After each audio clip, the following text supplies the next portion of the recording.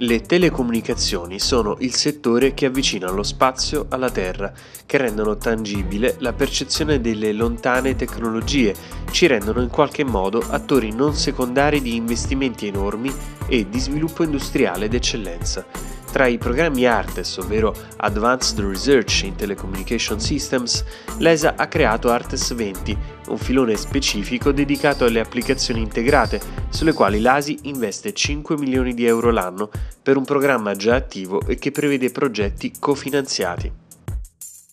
I programmi ARTES sono una serie di programmi dell'Agenzia Spaziale Europea che svariano in diversi settori, in diversi campi. L'Artes 20, quello di cui parliamo oggi in particolare, è il programma che intende promuovere e sviluppare le applicazioni integrate, ossia l'utilizzo di infrastrutture esistenti, come quelle per l'osservazione della Terra, per le comunicazioni o per il posizionamento, integrando i dati forniti da questi importanti investimenti sostenuti dall'Unione Europea e dai singoli paesi negli anni,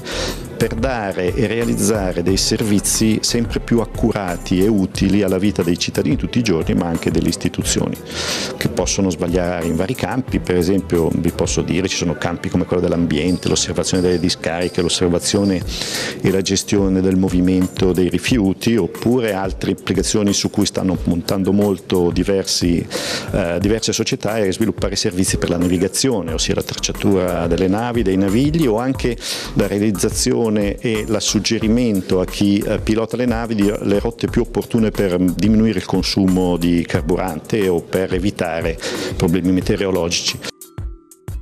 Le telecomunicazioni sono al centro dello sviluppo delle attività spaziali, come ha testimoniato l'ultima ministeriale ESA di Napoli.